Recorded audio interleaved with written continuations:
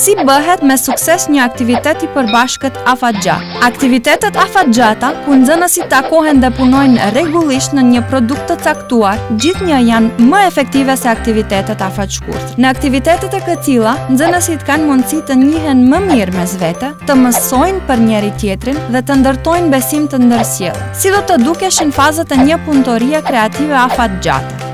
Faza 1. Arsimtarët organizojnë aktivitete ku nxënësit e grupit të përzier mund të njoftohen më mirë mes vete. Luljeta, Marko, Lejla, Vesna, Dritani dhe Osmani kanë më shumë takime ku mund të luajnë dhe kanë diskutime grupore për afrim, punë ekipore dhe ndërtim të besimit. Faza 2. Pasi të njihen pak mes vete, ata marrin për detyrë të punojnë video për ndikimin e teknologjisë në jetën e të rinjve. Në dy takimet e para, ata merren vesh për konceptin e videos dhe zhvillojnë plan aksionar. Marrëveshja e javës së parë është Marko, Lejla dhe Dritoni të bëjnë hulumtim në internet, ndërsa Luljeta, Vesna dhe Osmani do të jenë përgjegjës për caktimin e intervistave. Faza 3.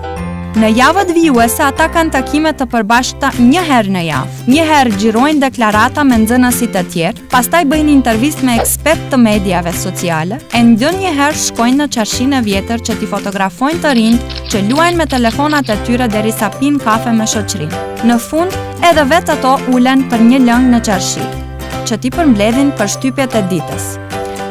Faza 4. Vjen koha e montimit të videos. Disa herë takohen në kabinetin e informatikës, pastaj punojnë në shtëpi të Osmanit dhe të Vesnës. E derisa janë atje, e shikojnë bashkë edhe ndonjë film të mirë. Faza 5. Dhe 3 muaj më vonë, videoja është gati dhe e gatshme për prezantim. Kuptohet, ajo është punuar në gjuhët të cilat përdoren në bashkësinë. ekipi e prezanton atë në ngjarje publike para gjithë bashkësisë. E pastaj, të gjithë bashkërisht dalin dhe e festojnë. Pikërisht në atë ditë qëllon edhe ditëlindja e Luljetës, të cilën po ashtu e kremtojnë. Rezultati, nxënës që kanë respekt të ndërsjellë, që shoqërohen edhe jashtë shkolle dhe që i vlerësojnë njësoj dallimet dhe ngjashmëritë e tyre. Bashkëpunim i përbashkët dhe respekt i ndërsjellë. Ky është integrim ndëretnik.